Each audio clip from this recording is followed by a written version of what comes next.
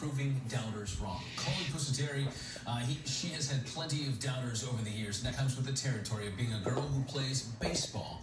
But as Andrew Kazee tells us, she's just getting started. If you tell Chloe Pusateri she can't do something, that pretty much guarantees that she's going to do it. For instance, don't tell her that because she's a girl, she should play softball instead of baseball. I never really tried it. I kind of just tried baseball stuff. The Eastlake High freshman was recently told to try out for the Eagles softball team, not the baseball team.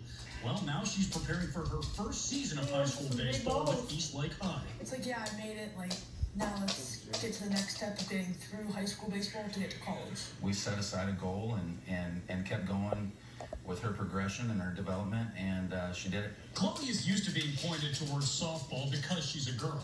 She claims it doesn't bother her at all, but her mother knows her better than that. It bothered her, and you know, her telling me told me it bothered her a little bit. You know, to some extent, because otherwise she don't tell mom. One thing Chloe will admit to, she loves to frustrate boys who are so terrified of a girl striking them out. They get all mad. Like, if, well, if I strike out, if I do this and that, if, if it's by a girl, then it's bad. Does that bother you, or do you just laugh at it? Makes you want to strike them out and get them out. So a warning to Eastlake opponents, don't give Chloe Pusateri any extra motivation. It won't end well for you. Andrew Kazee, Fox 13 Sports. I'll tell you what, when you're here in the cage, the ball's bouncing off that bat. Cracking. Yeah, certainly. So we wish you the best of luck. We do indeed. Good stuff. Thanks, Scott. All right, so.